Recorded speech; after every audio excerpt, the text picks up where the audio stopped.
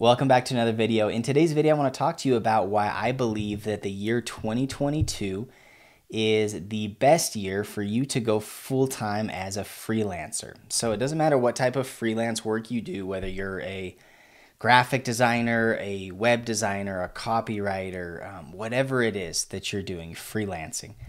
Um, the year 2022 is going to be a great opportunity for you to kind of cut the cord on maybe your nine to five and go full time. So, in this video, I want to talk to you about a couple of reasons why the year 2022 is going to be the best opportunity for you to succeed as a freelancer. And a couple of these ideas are going to hopefully help you help you to succeed. So, the first thing that I've got down here is um, remote work is more common and acceptable than it ever has been before. It's really cool because of um, just the way that things have changed over the last year. More people are working remotely, more people are working on their own schedules, and there's more freedom for you to do the things that you want to do and try the things that you want to try. And so for you right now, you can use that extra time in the afternoon or the evening to work on your freelance gig. It's a great opportunity for you to move that business forward. And so you've got to take advantage of these opportunities.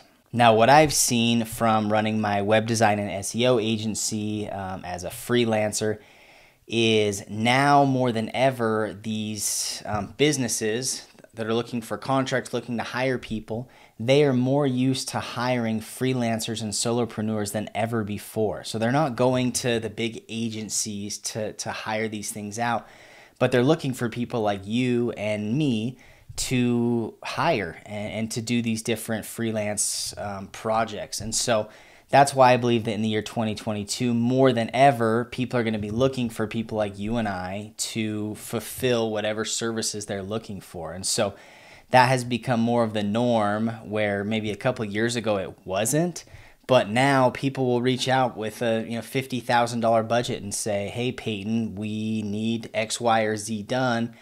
And we're ready to hire you and your agency to to to get that done. And so I think that's a great opportunity that it's more common that people like you and I are getting the jobs. Now, the next reason that I think that 2022 is the best opportunity for you to go full time as a freelancer is the sheer amount of tools that are out there that can help you run a business. Now, a couple years ago, you didn't have all the tools out there, so you were going to need uh, somebody to run the books and, and the finances, and you're going to need an attorney and a project manager, and like uh, you're going to need everybody in place in order to kind of create a legitimate business. But now there are so many tools out there for project management and for invoicing and for payment and for legal and for all these different things that you can literally piece together your business with these tools and for a very low monthly cost you can have something that resembles a very legitimate and professional business. And so there's never been a better time as far as tools go to be able to put together your business the way that you want it to be and the way that it needs to function in a professional manner so that you can be getting these gigs and that you can be making the money that you want to make. And so there's never been a better time when it comes to tools. Now, the final thing that I want to talk about is just the financial opportunity of going full time as a freelancer because it can be scary and there's always a chance that you're not going to make any money, right? There's always that risk. So you can make you can make way way more than you could ever imagine or you could also struggle and that's just part of getting into it and kind of testing your business model and seeing how things go but at the end of the day, I would say that um, the, the greatest blessing for my family has been the, the financial upside that me freelancing, I've been able to create my own schedule. I've been able to work when I want to work and do what I want to do, but also I've had the opportunity to make far more than I ever would have from a nine to five. And that is um, a huge upside that you as a freelancer can build something much bigger than yourself and that you can truly find success. And so, in the year 2022, I feel like there's going to be more opportunities than there there ever has been before.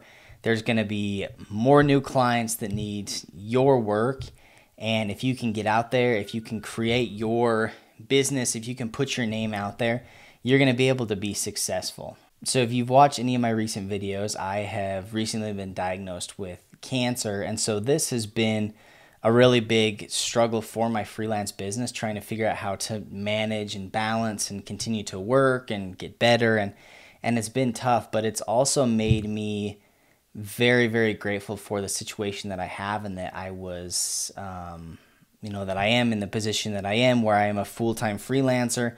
I've got a business that's sustaining my family. I'm able to continue to work, but also I'm able to take time off when I need to. And so that is a huge, huge benefit of being a full time freelancer. And if you're in a position where you're considering going full time, but you're not really sure how it's going to go, um, I would highly recommend at least starting to move in that direction and, and starting to go full time because at the end of the day, the opportunities are there. There's never been better opportunities to grow a freelance business and to have success and to make all the money that you want to make and to live the lifestyle that you want to that you want to live. So that's it for this video. If you enjoyed this video, please be sure to like and subscribe, and we'll catch you in the next one.